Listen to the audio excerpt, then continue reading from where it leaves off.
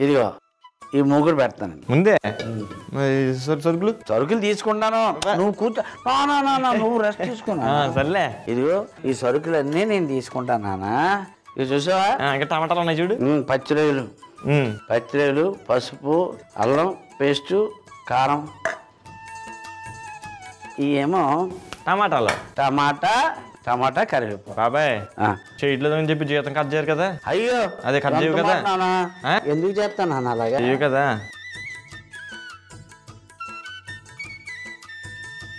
ఇప్పుడు మనం ఏం చేస్తున్నాం? ఈ రొయ్యల్లో.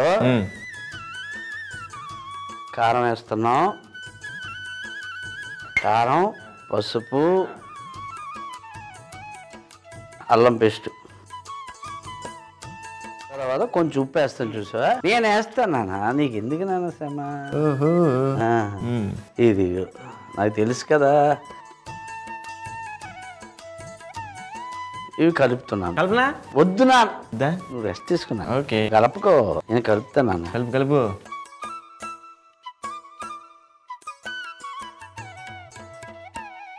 అది కలిపేసాం కదా.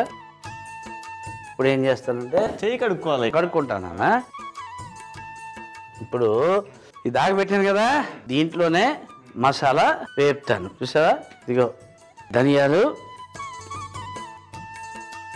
జీలకర్ర ఎండు కొబ్బరి జీడిపప్పు ఇవి వేయిస్తాం.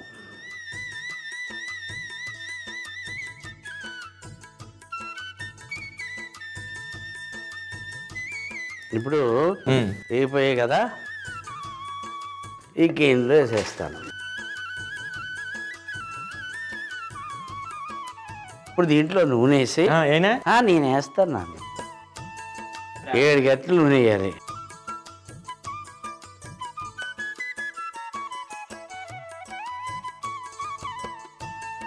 ఇప్పుడు కరివేపాకు వేస్తాను. ఇప్పుడు టమాటా వేసే ముందు పచ్చిరొయ్యలు వేస్తాను ఓహో.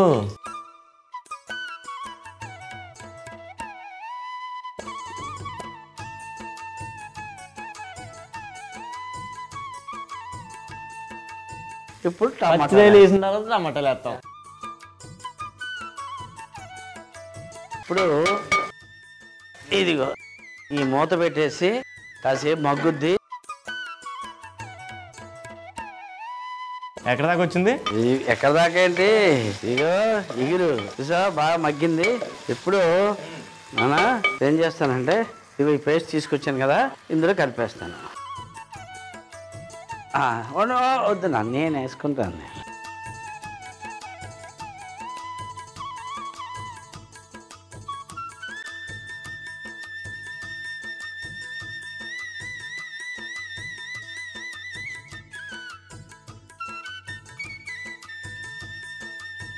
ఇంకో ఐదు నిమిషాలు అయితే అయిపోతే మూత పెట్టేశాను. ఇప్పుడు పొయ్యి ఆపేస్తాను.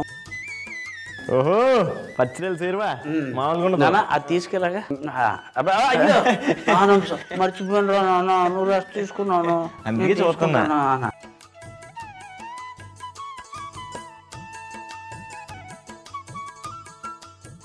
పచ్చి రొయ్యల షేర్వా.